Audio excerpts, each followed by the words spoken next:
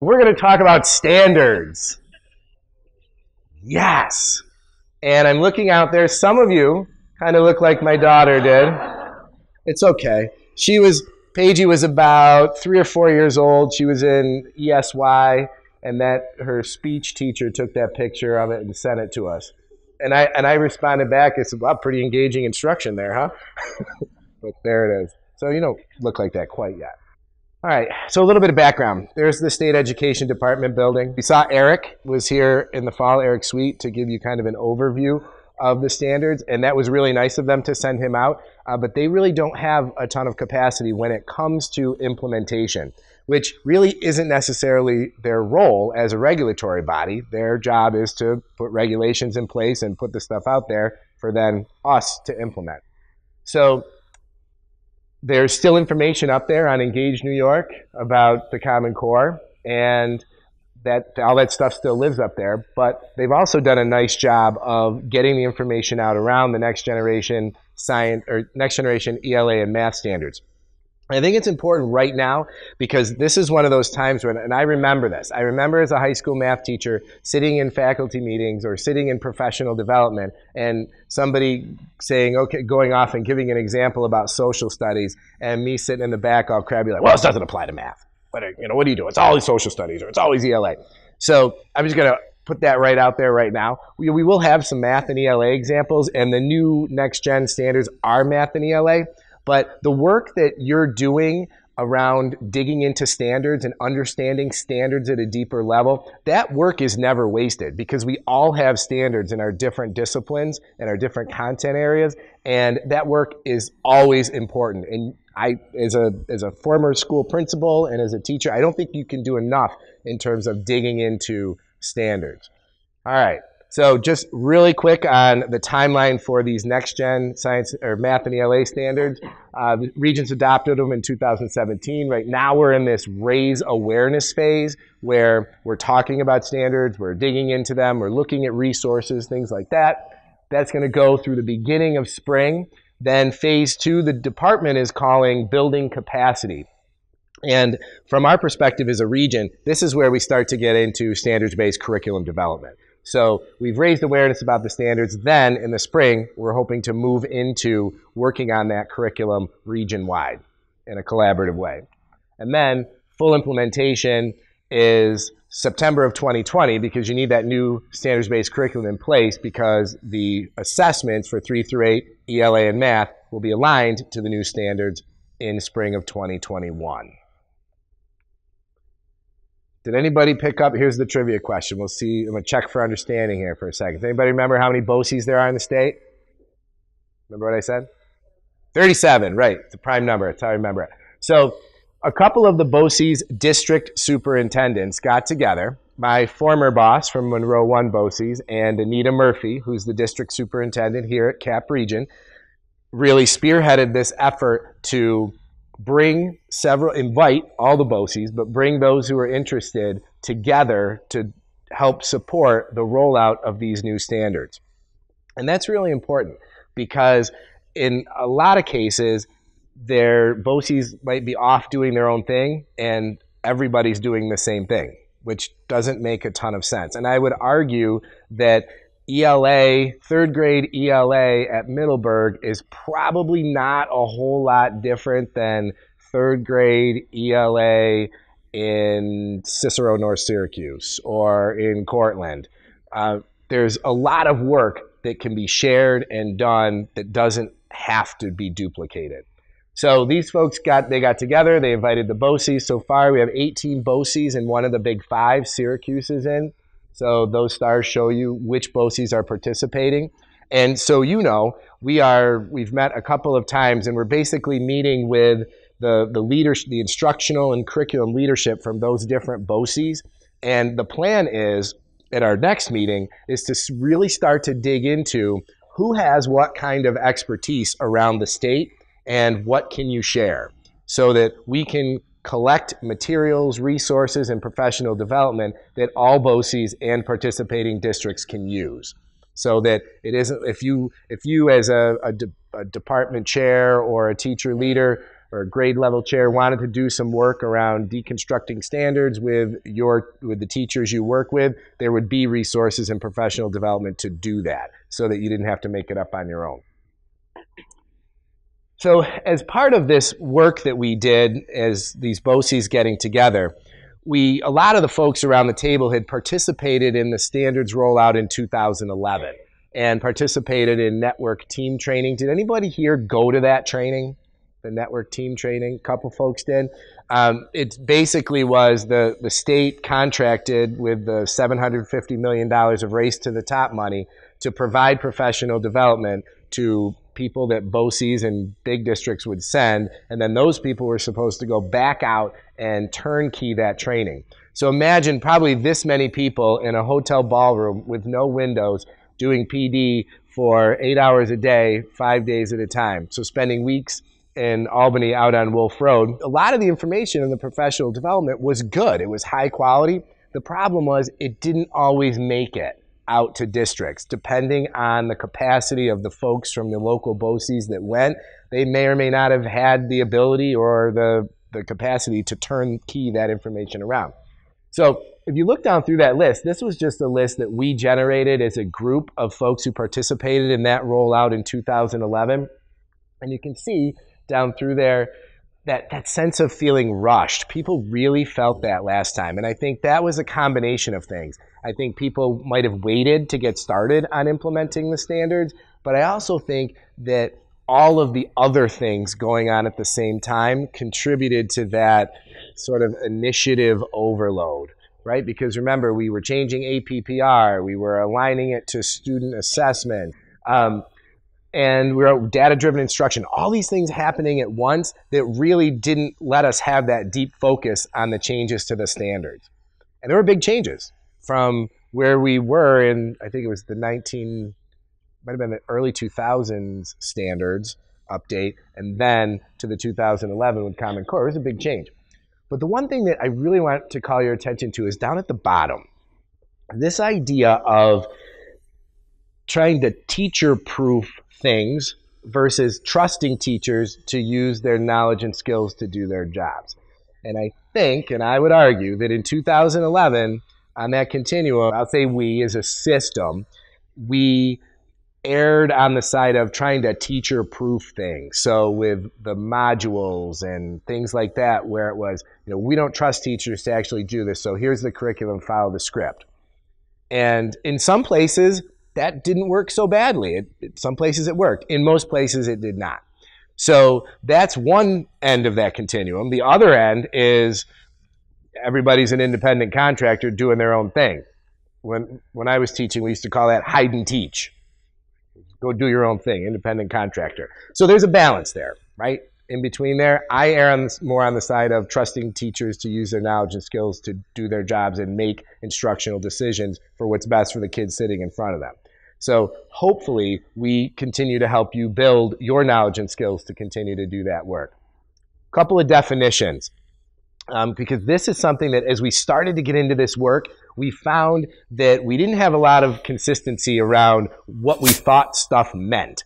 And this is this is hard because a lot of these terms have been in the education jargon forever and have different meanings depending on who's talking about them. So here's one for standards. I won't read it to you. I'll give you a second to read it.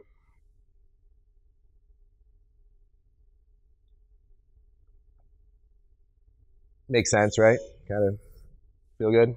Okay. Curriculum. This, a lot of times folks miss the difference between standards and curriculum.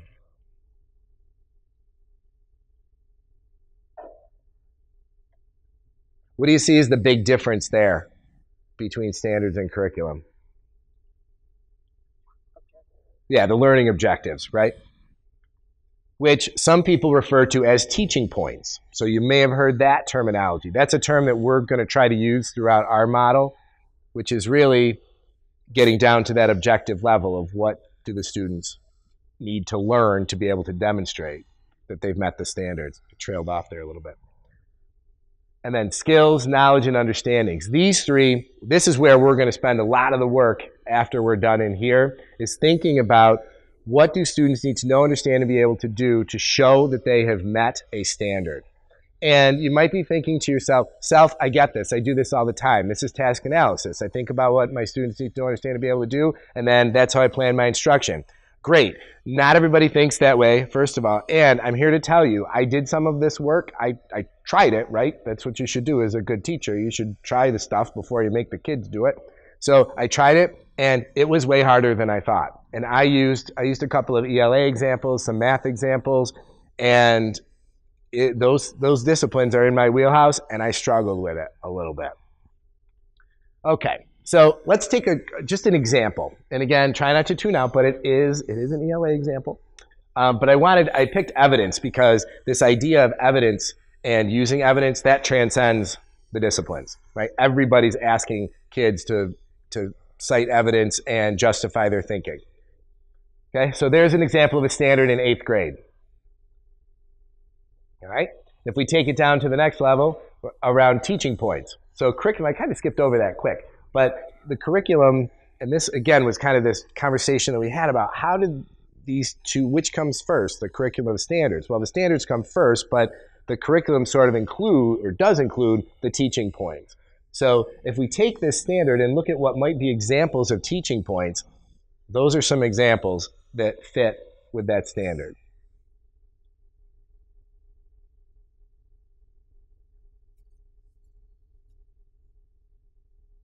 Now notice we are we are in this is part of curriculum, but yet it doesn't say analyze the great Gatsby. It doesn't say, you know, analyze evaluate evidence from a Wordsworth poem. It doesn't do that. This is just these are the teaching points. And then the next step for this is the teacher taking those teaching points and then making the decision what's the content that I can use for these students that's going to get them to do that. And that's a that's a, a, careful distinction that I think sometimes we gloss over, and we like to go right to content because that's the stuff that we know and that's the stuff that we enjoy. But this is a really important part of this process that I feel like sometimes gets glossed over. So, like I mentioned, the big areas that we're going to focus on today are around these skills, knowledge, and reasoning or understanding. And this is the tool that we're going to use. And it's pretty simple. Some of you, I'm sure many of you, most of you are familiar with these three concepts. But trust me when I say it's harder than you think. And it will absolutely spark some discussions in your groups when you start to argue about, well, is that really knowledge or is that a skill? And to what extent is this piece an understanding? And can I have that understanding without having this knowledge? And believe me, it's, it's good conversation. And that's why I said at the beginning that I don't feel like any of this time is wasted. I think this is good time spent on thinking deeply about what we want our students to know, understand, and be able to do. That's where we're headed. But I also want to give you the bigger picture overview of this curriculum design model. So if you take a look, I've got the, the phases of where we're headed on the left there. And in that first part is the next generation standards, or any standards, I would argue.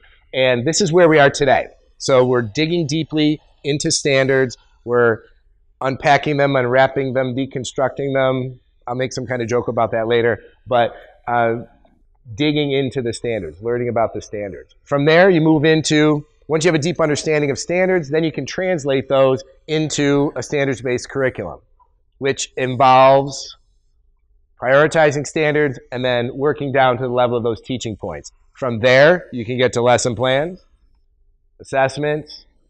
And what I like about this model, which isn't always the case for all curriculum design models, is that at the beginning of it, we're thinking about what happens when kids don't learn it.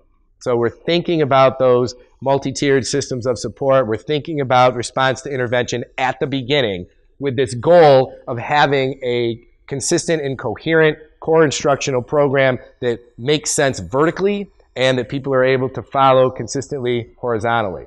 The other part of this that's really important, and I, I don't want to gloss over this, is that also at the beginning of this process and thinking about this model, we're thinking about those two really important special populations that we have. English language learners, which continue to increase in numbers in all of our districts, and students with disabilities, which is close to my heart, Both of my daughters are deaf, and they're on two different ends of the spectrum. Our older daughter, our 16 year old, is taking AP classes, and our younger one, our 12 year old, is alternate assessment in that group of kids. She's in a BOCES uh, 1214 class. So I'm seeing that play out for my own children on both ends of that spectrum. So I think it's really important that we think about kids on those different of those different populations at the beginning of this process and throughout. Started to make this case at the beginning of why standards are important, and I want to I want to drive that point home now, and I I hope you'll indulge me a little bit. So I wanted to come up with an example that we could all relate to. Because, like I mentioned at the beginning, if we stick with just one particular discipline or a couple of content areas, there's a whole big chunk of the room that that it feels like that that doesn't apply to them. So, okay, so there's my children, right? Redheads. Yep. Okay. And uh, yep, there it is. So there's a house. It's not my house, but that's a house. There's the basement of that house. There's my children in the basement. I don't want them living there. So I'm not, if your children are currently living in your basement, I'm not judging you. I'm being a little judgmental, but I'm not judging you. So from my perspective, there are standards. Standards are important to meet so that my children will be not only college and career ready, but out of the basement ready. That, that's what I'm going for here. So it's trying to think of some kind of standard that related to out of the basement readiness. And one of the ones that's been front and center for our family recently is driving because we have a 16 year old. So there we, we, we got our permit. That was us. That was Emma getting her permit right there. Good times. And um, I thought, okay, there must be standards associated with driving. So these are tough to read, but these are on from right off the DMV website, and they read like standards. Steering, steer smoothly, whether you are driving straight ahead, turning, or backing up. Okay, so those are standards, and content standards, basically. So I picked out communication. I thought that would be a really fun example to take a look at when it comes to standards and to deconstruct or unpack or whatever when you think about standards, and this is part of the prioritizing process that we'll start probably after today, before we come back together in March, there are things that are essential to know. And with any content area, any standard, there are certain things that are essential. So I, when I thought about what's essential to know when it comes to communication and driving, well, that you have to do it. it. It's necessary to communicate with other drivers and pedestrians when you're driving for safety. Now, when you move beyond essential to know, there's things that are nice to know, or I'm sorry, things that are important to know. So it's important to know that there are different ways to communicate depending on the situation or whatever. So that's important to know. Now, then it's nice to know that sometimes when people blink their lights at you, it means there's cops ahead. Right? That's nice to know, but not necessarily essential. So taking this theme of communication and driving a little bit further, there's the standard. I'll let you read that.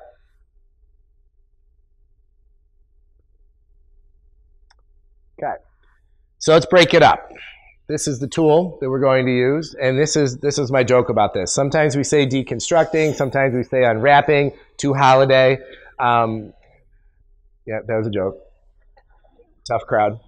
I'll be here all week. Try to veal. Or unpacking standards. We're kind of using unpacking. I mean, there was there's some. It depends who you talk to because some people are like, well, you know, in in science we didn't like deconstructing, or in here we didn't like this, and so I don't know, deconstruct, unpack, unwrap, whatever you like. I was talking about it yesterday, and somebody's like, who cares? Just call it. Learn more about them. Like, okay, that works. So here we go.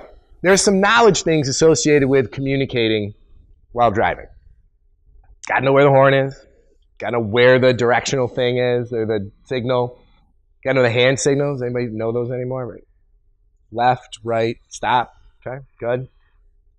Take the next level, but there's skills. So those are those are things you need to know. Now here's the skills. Got to know how to operate the horn, and there are different intensities and durations. that you can use the horn. Need to know how to operate the signal.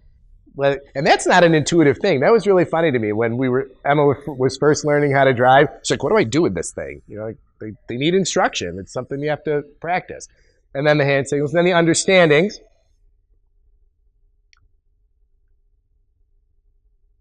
The second one, uh, the directional signal is a way to communicate where you want to go.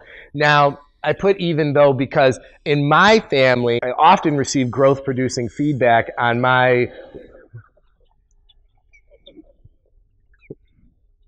on my uh, uh, failure to use the turn signal, and my response is, "It's nobody's business where I'm going." They don't appreciate it. Okay. So that is not a way to communicate. Sorry, couldn't resist uh, when other things are not appropriate. So there we are. So that's how we've unpacked those standards. And like I said, I wanted to have. It's kind of funny, and it's sort of I don't know. I wanted an example that sort of transcended the, the content areas and the disciplines. And we got our road test. We got our license, which is great. We've only had one fender bender since uh, September. I'm sure she's thrilled I'm sharing that. But if you look, now this is interesting because remember, there's some response to intervention going on in our house related to driving because while she did pass, she uh, did not look when she was leaving the curb at one point, and she could not parallel park to the point where the examiner was just like, just forget it. like, all right. So, but you can, you can pass, but maybe you didn't meet every single standard to the highest level. So, we got multi-tiered systems of support for paying attention and parallel parking. So this is the form that you're going to use. You have a copy of it in front of you. Your facilitators also will have extra copies that you'll use when you get together in your smaller groups. And I wanted to show you a couple of examples from content areas. So I know it's a ton of text up there, and I apologize for that, but this is, uh, this is a math example from fifth grade. And you can see how quickly it gets complicated and gets deep. There's a lot there.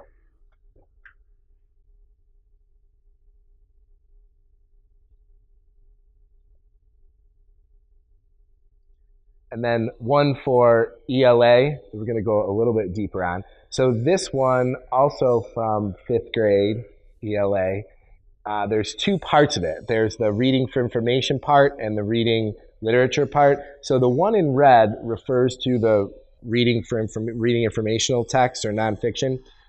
Take a look at that one.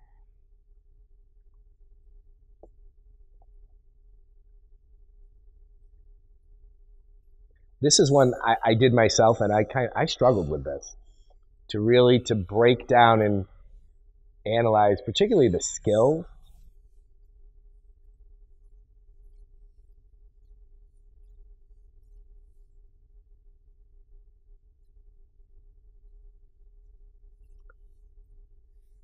So this is work that you're going to do after we're done in here and then after lunch. And depending on time, we might run out of time, but it would be great if we could also, it was planned for when we had the, the full day. And now that we're shortened a little bit, this was a piece that we chopped off the end, but you might be able to get to it. And I think this is really where it, it starts to hit home for how complex this work becomes so if you think about the one in red, so informational text, and what would be some act, I, I hesitate to use the word activities, but tasks, assessments, activities, whatever, uh, instruction that is designed that should the students complete it would show that they have mastered the standard or met the standard. So here's three that I made up related to this standard. And I'll give you a second to read them. Checking in your way.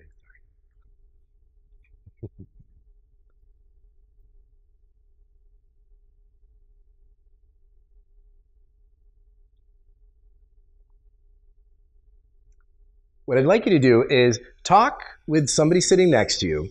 Which, which one, which two, do all of them? Which ones or one actually align with that standard, do you think?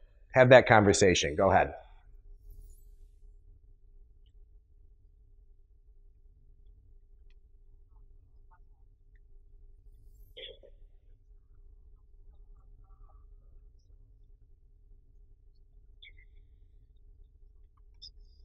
So let's, I'm curious. Uh, raise your hand if you think number one meets the standard. Anybody? How about number two? Okay. Number three? Couple. So when I designed it, I aimed for just number two meeting the standard. And one and three are probably things that I act, did I actually did as a fifth grade teacher, which are great activities and good learning experiences for kids, but not necessarily aligned to this particular standard. So this is where, like I mentioned before, this is where it starts to get really complex and where the discussion comes from. So the facilitators and I have designed an activity or a task related to doing something like this for that hopefully you're able to get to in the afternoon.